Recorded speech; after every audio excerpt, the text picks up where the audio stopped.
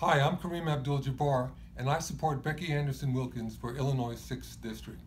Serving the community is a core mission for Becky, and Becky is interested in fighting for affordable health care, combating climate change, and being a voice for all constituents rather than just special interests.